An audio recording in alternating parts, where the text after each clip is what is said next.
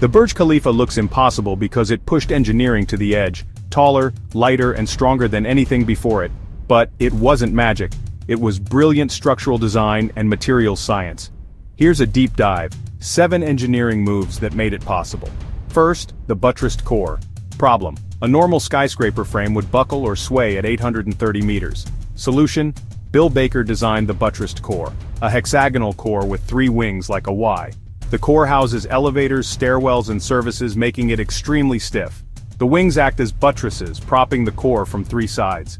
The Y-shape reduces wind forces because there's no flat face for wind to push against. The tower tapers irregularly, no two floors are exactly the same. That prevents wind vortices from locking on and shaking the building. Engineers ran over 40 wind tunnel tests, rotating the model to test every wind direction.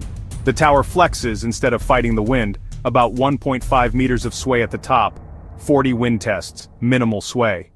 Normal concrete would dry too fast and crack in Dubai's heat.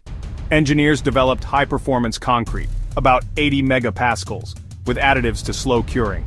They pumped concrete over 600 meters, a world record then, with cooled pipelines and massive pumps.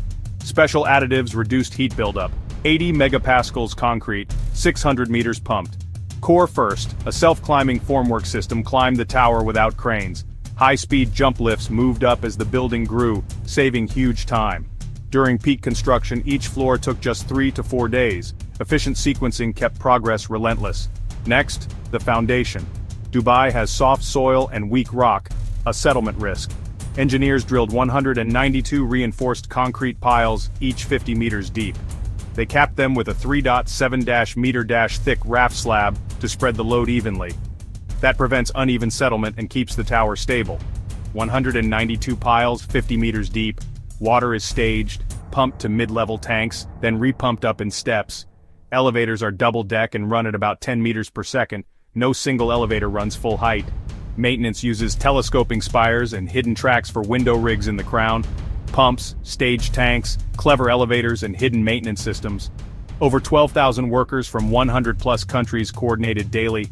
Laser surveying tracked tilt and twist, adjustments were made in real time.